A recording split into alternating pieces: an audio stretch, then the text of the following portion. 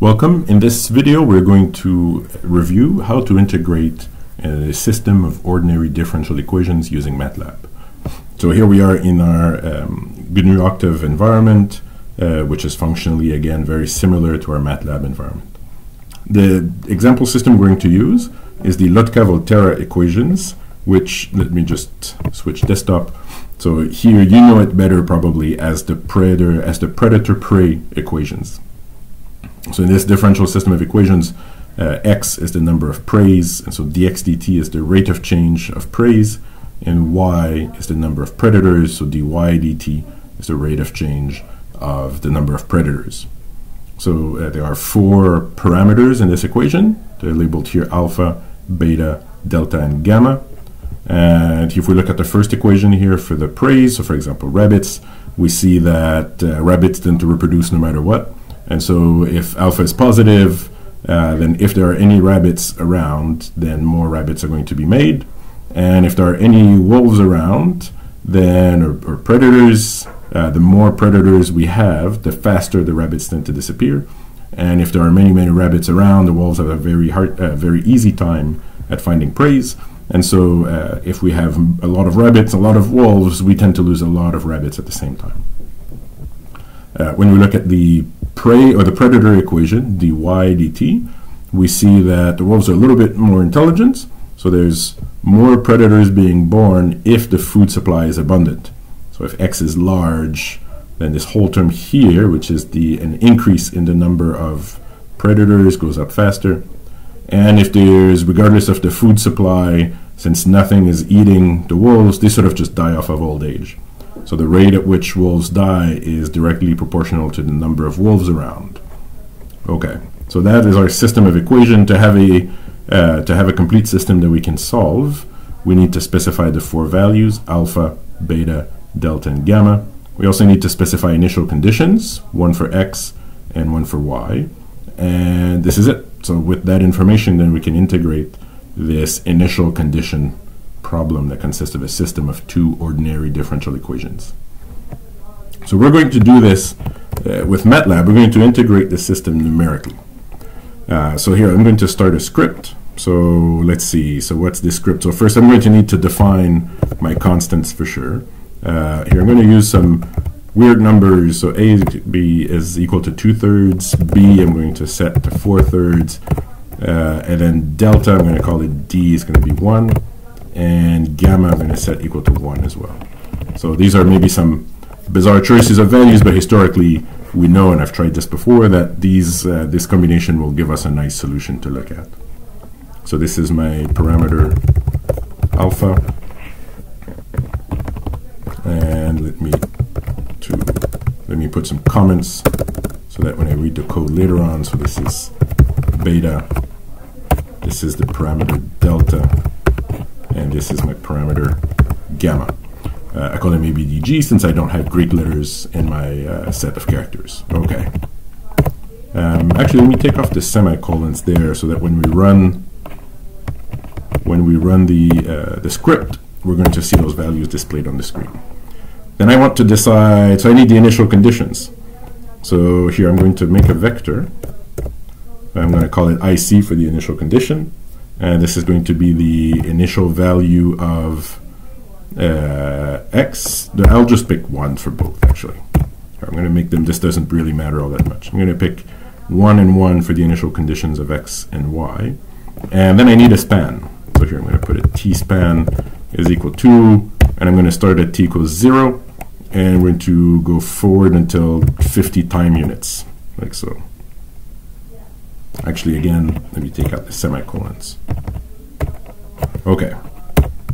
So now how do we integrate? Oh, I press Control S, so let me just save my script. I'm going to call this Lotka Volterra dot M. There we go. Okay. So how we're going to solve this numerically, you may, you may remember from your numerical um, or your uh, numerical uh, methods course in your undergraduate degree, for initial condition differential equations, you saw methods such as, for example, the Euler integration. Uh, you saw something called modified Euler. You also saw methods called Runge-Kutta. And very specifically, you may have derived a number of different Runge-Kutta methods, and there's one which uh, people usually call the classical fourth order Runge-Kutta, which is often called, which is often shortened to RK4. So this is the RK4 is a very, very classic methods of integrating uh, ordinary differential equations. MATLAB actually provides us with a function called ODE45, which we're going to use in this case. Um, we may remember, so we've, um, in numerical methods, uh, usually we talk about, we don't spend uh, much time on it, we, not many people spend that much time on it, but you can estimate the amount of error that, uh, that, is, uh, that is generated by a numerical method by using two different schemes of different orders. So there is such a family of schemes that are the fifth order Runge-Kutta, which is often shortened as RK5. So ODE45 uh, integrates your system using RK4 and it estimates the amount of error using RK5. And then it adapts, it actually adapts the time step um, using the estimate, the error estimation made by RK5 in order to control the amount of error that their method is making. So you can see if you shorten this, this RK4 plus RK5 method, I could shorten it to RK45, which then becomes, uh, if I want to say explicitly what the method does, it integrates it integrates ordinary differential equations. So the method becomes ODE45. Okay, so let me just erase these nodes. And let's start trying to use this. So you can find the basics of the method. Here I'm going to go up to the browser. You can find the basics of this method. Here I have highlighted so you can see it here. This is actually a MathWorks documentation page for the function ODE45 specifically.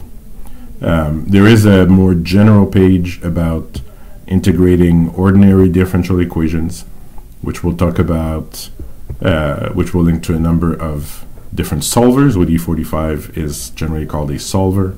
And numerical integration, actually, I'm going to stop here. Okay. So let me go back to my Lotka-Volterra. Okay, so how do we use this? The method with the function ODE45 will return at least two uh, variables, which are often called t and y. And here I'm going to call it y solution, so I don't get confused into what is called y and not. Um, so in here, we're going to have a vector of all the time values at which the solution was computed. And y sol is going to be a matrix that has all of the x and all the y values at all of the times that it was computed, that they were computed at. Then we have to pass to ODE45 a number of things. We have to give it the span. So I have to say when I start the integration and when I stop it. In this case, it's from uh, a time of zero and for 50 time units.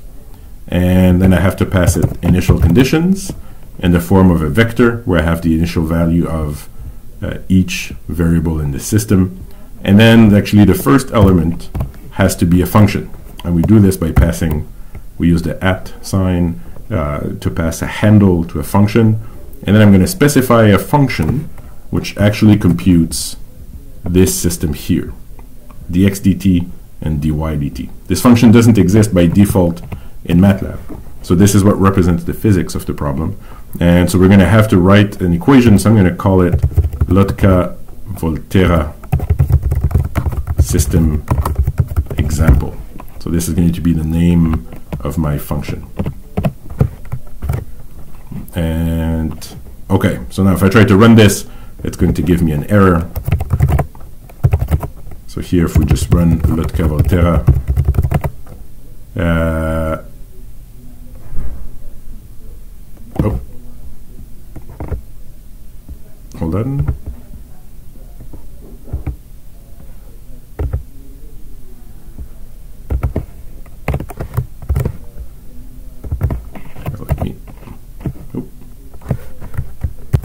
My apologies, I'm back. So I just had a uh, minor problem. I had just a, uh, a, typo here. I inverted the K and the T. So if I call Lotka Volterra, there we go. So now my function works. It prints out the four values of the four different parameters, uh, the initial conditions, 1 and 1, the span, and then I get an error that says, oh, this function, uh, no function and no method found. Okay, so that's because I have to actually provide this function to MATLAB. So let us create this now. So control N. So we're going to create we're going to create a new function. It has a single output out equals to uh, the name of the function. This will be Lotka Volterra system example. And it's going to have two inputs, t and y. I'm going to call this y vector. Oh, and now we're going to save our file. Okay, so what does this file do? Here, let me just take out this so we can form the MATLAB uh, function or the MATLAB um, uh, MATLAB syntax.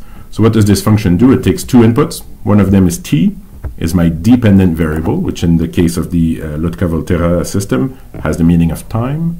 And then it, it contains or it receives also a vector. In this case, I called it y vector. And this vector has the same size as my system. So this is going to be a size 2 vector. And the first, uh, the first variable in that vector is I'm going to assign it to x. The second variable, I'm going to assign it to y. Uh, this is not uh, necessary. I just like to do this so I can have nice readable equations afterwards in the function. And what decides whether x is in the first place oops, or in the second place? Uh, nothing does. I do. So I have just, by writing this line, I've just assigned meaning to this uh, vector uh, variable. And then we want to calculate the derivatives. So I'm going to calculate dx dt. I'll write it out in full is equal to, let me just go back to my system, it's equal to ax minus bxy, a times x minus b times x times y. And now I'll put the semicolons everywhere because this function will be called many, many times by ODE 45, and I don't want to get the output at every steps. And then dy dt I'm going to compute. This is delta xy minus gamma y. So this would be d times x times y minus gamma times y. Let me just line up the minus signs. There we go. This is a little nicer. And then my variable out has to be a vector of the same length. So my variable out is going to be a vector of the same length as the vector coming in, uh, y vec here, and it contains the derivatives of the different variables. So in the first position, I'll have the numerical value of the derivative of the variable, of the derivative of the variable that is in the first position. In the second position, I will have the numerical value of the derivative of the variable that's in the second position. I don't know when this function is called, I don't know what the value of time is, I don't know what the value of x or what the value of y is, but those values are passed through this variable. ODE 45 will ask for the computation of the derivative at different specific values of t, x, and y. There's one more thing I need to do because here there's a, b, d, and g, the functions. So here, let me just define them in here. Actually, I'm just going to go and pick them up uh, from here, like so. I'm just going to copy them and re-indent. So now inside my function, I have the values of the parameters. And I believe this is it. So let's just try, let me just clear the, the desktop. And then here, Lotka-Volterra, let's just run, and we get answers. So let's just see what do we get. Oh, actually there's a lot of output here. Let me go and fix this.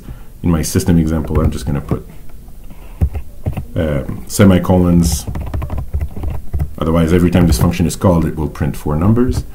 And then at the end, there we go, this value of t here, this is the output from, in my script, from this line over there.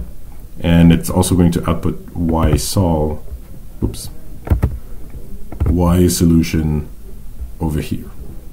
So the vector, the column vector t, is the value at time it's each of the value of time at which the solution was computed. The vector or the matrix ysol has two columns, one for each variable in the system.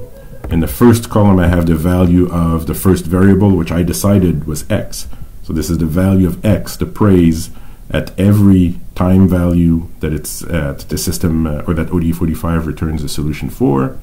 On the second column, I have the value of y, the number of predators for each time value that's considered. And now if I want to plot my solution, I can plot, for example, time, and I'm going to plot the second, or the first, let me plot the number of preys. So I'll take every row of the first column, that is every row of the x column, and I'm going to plot this in a blue line. Oops. My vector, or my, uh, my variable is actually called y sol. Enter. There we go. And now we see that the uh, number of preys actually oscillates. So it initially decreases and then it bounces back and comes to a high value and then goes around and around. The solution's a little choppy, but it's uh, it's okay. We'll see how to fix that uh, very soon. If we wanted to plot both the preys and the predators, then we'll plot t and then y sol, and then I'll plot every row of the second column and I'm going to plot those in red because red, at least in Canada, in North America, is thought to be a very aggressive color, just like wolves. And now we see that initially both the number of preys and predators uh, decreases, but then as the number of predators decreases sharply, the number of preys actually bounces back, and as the food supply is higher, the wolves actually the wolf population thrives, but then there's uh, too many wolves it actually has decreased the number of preys, and then we get this cyclical oscillations where the number of predators and the number of preys are out of phase. Now, there are two main characteristics about my code. Actually, this is it. We should point out that we have integrated our system of differential equations. Here, let me put in my plot command t y sol. This is the number of preys. I'll plot in blue and then the number of predators I will plot in red so that I get the plots automatically. Now we are done, except there's two uh, there's two problems. So one thing that annoys me is that if I want to change the value of one of these parameters, a, b, d, or g, I don't change them here. I have to go into my function and change them over here. And so good practice would be to do the following: is I want to pass a, B, D, and G as inputs to my function. So then I'm going to comment out these lines. Actually, I'll do two things. First, I'll comment them out. And then I'm going to just write definitions. And I'm going to take out the specific values. Like this. These are my parameters. And then let me just label as well x is the number of preys. Here I'll actually point out that it's equal to yvec1. And I'll take out just a, here, this is just, um, this is now formatting, and then I'll write that y is equal to the second variable. This is the number of predators. Like so. Okay, so now my system is, I also have, um, I also have uh, comments that identify the system, and here I'll write at the top, this is the Lotka Volterra differential uh, differential equation system even though the name of the function is actually quite uh, self-explanatory. Okay, so now if I want to run my script again, here let me just clear the workspace. So I'm going to call my function and I get an error. A is undefined near line 15, column 10. Yes, in my system example. And that's because, so in this function here, A is undefined, and that's because ODE45 by default expects a function that has only two inputs. So by default, the first input would be uh, the independent variable, and the second input would be the vector of dependent variables. So now that my function has more inputs, it ODE45 doesn't know where to pass the values for t and y. So we have to tell it how to do this.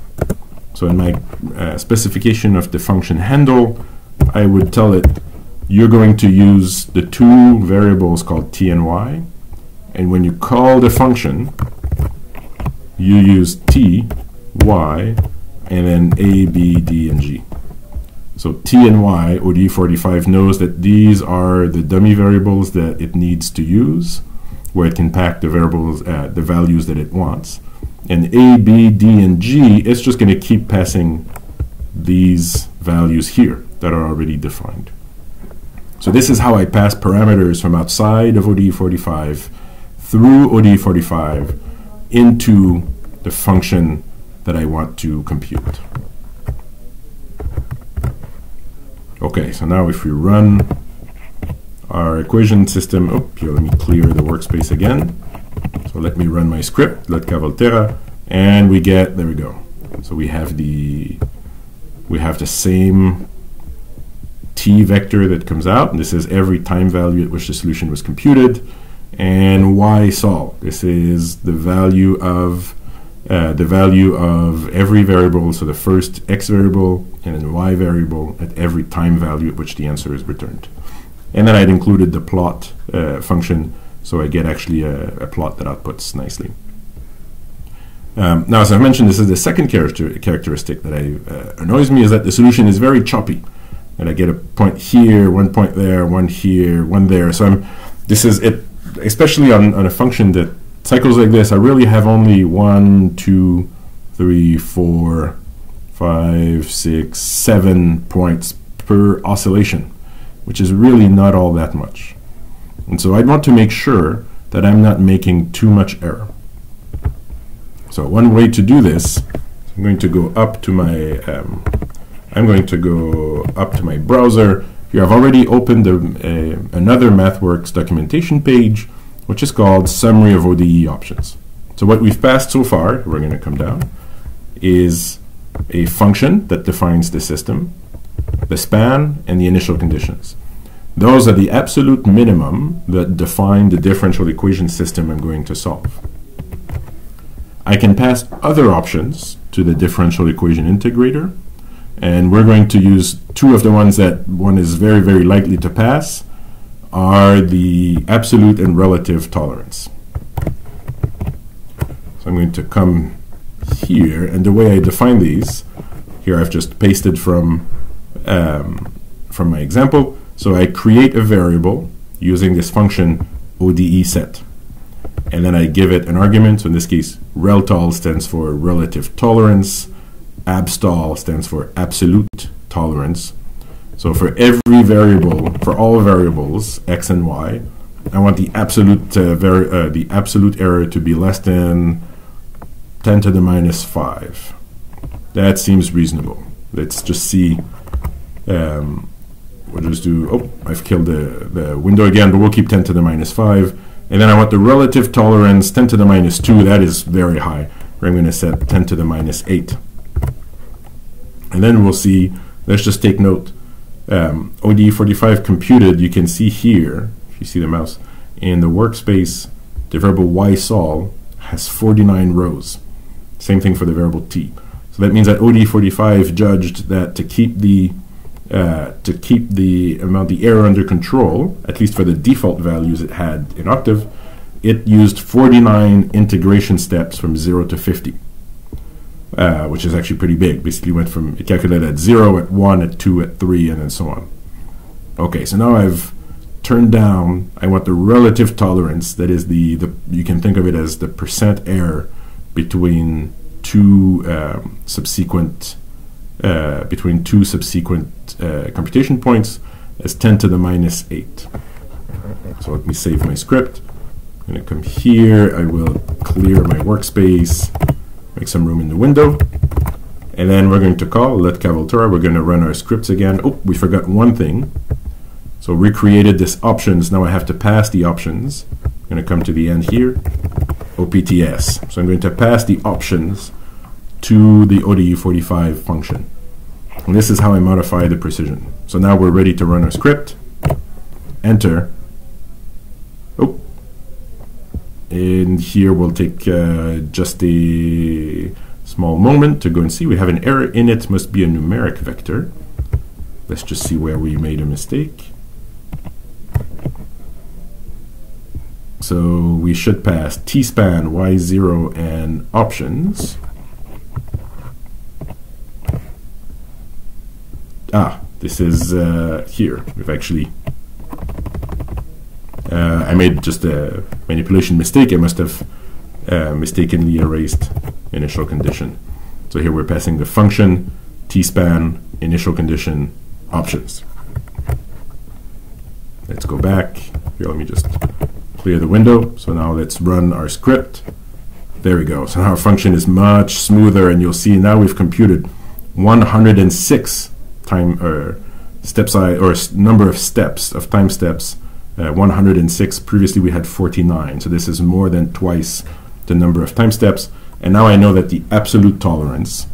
So each one of these data points, the error is less than 10 to the minus 5, and the relative tolerance is less than 10 to the minus, uh, I believe, 6 is what we put. Let me just go and check. 10 to the minus 8, actually. So here, let me just bring back our plot. And this is really it. Now we have integrated a numerical, we have in numerically integrated a system of differential equations. And it, not only that, but we've also modified the precision or the tolerance of the uh, integration. And we have integrated a system that requires us to pass parameters through the parameters a, b, d, and g through to our evaluation function for the derivatives. So if we come here, if I change one of these, if I make the, let us make the g, this is the rate at which preys, or at which predators die, I'm going to augment this to 5, and you'll notice here I'm only changing it in the script and not in this function. This function here is true for any instance of the Lotka-Volterra system. Let me just close, so we've already closed the window. We're gonna, the figure window, I'm going to clear my workspace and let's call the script again. There, wow, a much, much different picture. Actually here, the predators go down to almost zero and then spike through. It could almost seem like I would have a, a mass extinction of wolves and I could be, uh, I could be um, fooled into thinking that there are no wolves left in my system, and then all of a sudden they reappear.